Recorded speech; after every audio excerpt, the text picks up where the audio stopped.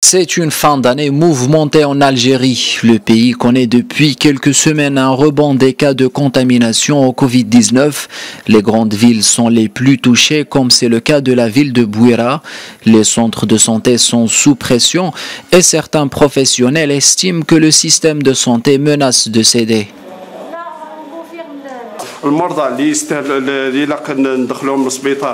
Nous accueillons seulement les malades qui doivent être hospitalisés d'urgence.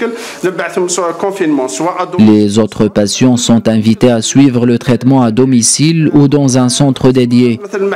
Si le patient refuse d'aller dans ce centre, il est tenu de signer un engagement de respect de la durée d'isolement estimée à 14 jours. Alors que les autorités algériennes ne fournissent pas d'indications sur le nombre de tests effectués, les professionnels de santé estiment que les chiffres officiels sont bien en deçà de la réalité vécue sur le terrain.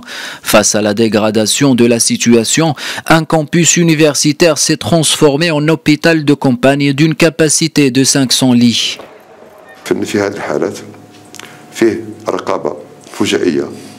Nous procédons régulièrement à des inspections effectuées par des agents de santé ainsi que des agents de police afin de s'assurer que les patients respectent le processus de l'isolement sanitaire. En cas de non-respect, le patient est renvoyé directement ici. Ces mesures sont indispensables pour freiner la propagation du virus. Les lits manquent dans les hôpitaux algériens et aucun dépistage massif n'est prévu.